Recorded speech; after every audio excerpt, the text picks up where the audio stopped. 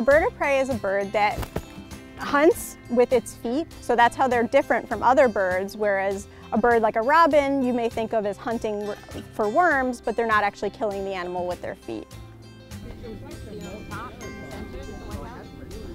Some of our birds are what we call um, static display, like, like our eagle or vultures.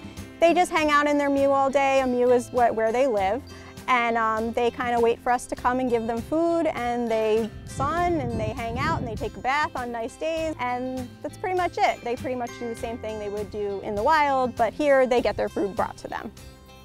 For a bird like Blaze, who goes out on programs, sometimes she has a program to go out on and uh, so she'll go out and teach kids all about birds of prey and her species and why they're important to the environment.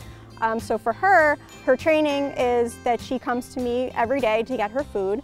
So her day is a little bit broken up from just sitting around and kind of doing nothing, which is what birds pr pretty much do in the wild also, is they're pretty static birds. They sit there and then they hunt. They're not going to extend energy that they don't have to. Ooh, that was close.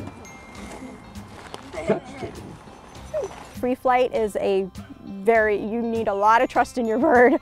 For her, she was hit by a car. She can extend her wing mostly, so she can do some flight in her, in her mew, but she can't uh, have long flights. Um, so we wouldn't be able to fly a bird like Blaze. They are as graceful as they are in the air. They're equally non-graceful on the land. So, I just gave him his day-old chicken.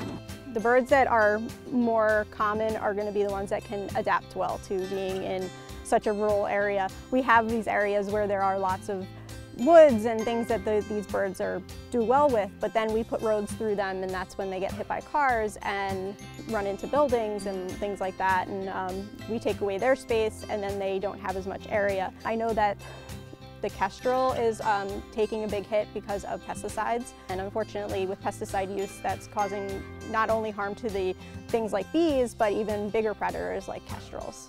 Like any animal in the wild, they all have their, their little spot and what they help do.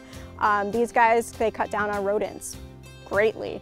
People don't like rodents. They don't want them in their houses. Little smaller mammals that get in your garden and eat your plants and all these things that people don't want to happen. So then you end up with an imbalance. So these guys as predators, you need them.